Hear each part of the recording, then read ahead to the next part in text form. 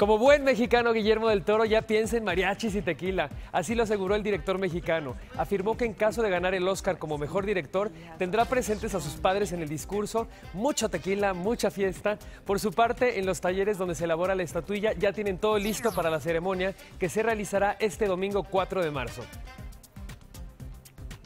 Imagen Noticias con Yuridia Sierra, lunes a viernes 2 pm.